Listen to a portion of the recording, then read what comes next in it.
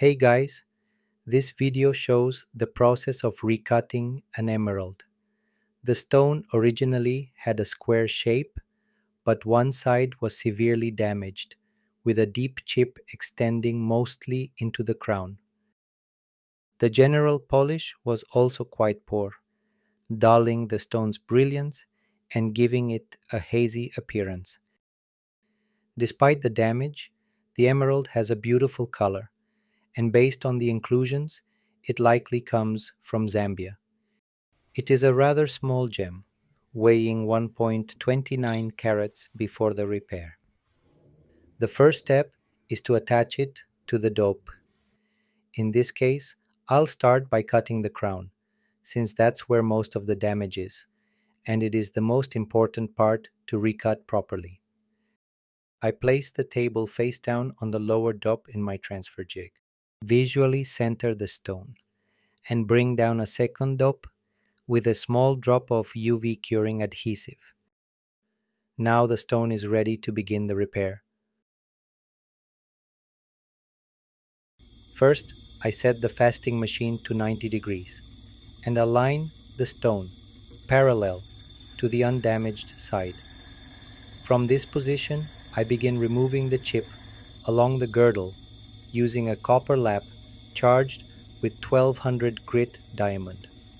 I remove material slowly, stopping as soon as the damage is fully gone on the side, to preserve as much weight as possible.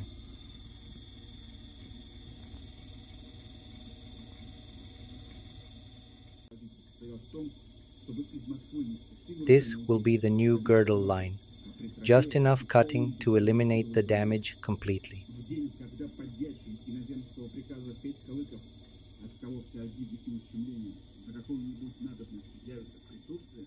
Next, I rotate the stone and cut the corners slightly to give it the classic emerald cut shape. I use the opposite side's corners as a guide to maintain a symmetrical outline.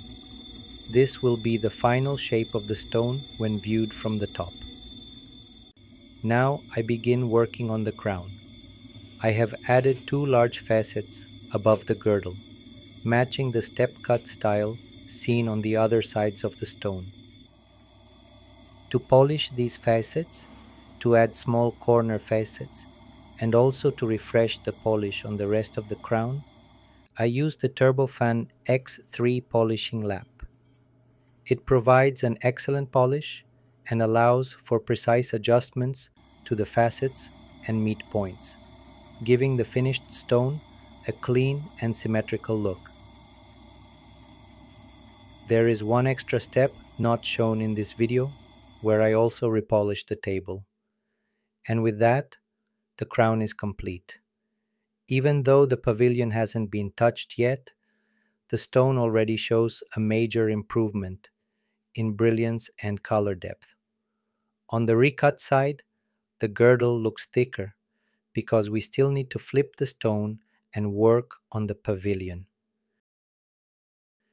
Using the transfer jig again, I attach a new dop to the table side. For a brief moment, the stone is held between two dops. I gently heat the first dop to detach it without any issues. In just a few minutes, the stone is ready to be worked on from the other side. We are now much closer to the final shape, restored and symmetrical. I polish the new pavilion facets, add facets on the corners, and refine the polish of the existing facets. But I do not want to change the position of the culette. The reshaping has slightly displaced the culette to one side, but due to the inclusions, this will not be visible from the crown. Moving the pavilion tip to the new geometric center would require removing more weight and also losing some color, which is not worth it in this case. Exciting moment. The stone is now finished. The final weight is 1.21 carats, losing only 0.08 carats, which is just 6.2% of the original weight much less than I expected given the depth of the damage.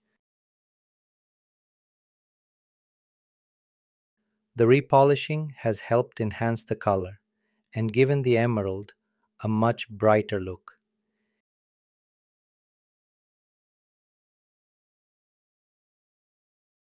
Here you can compare the gem before and after the recutting process.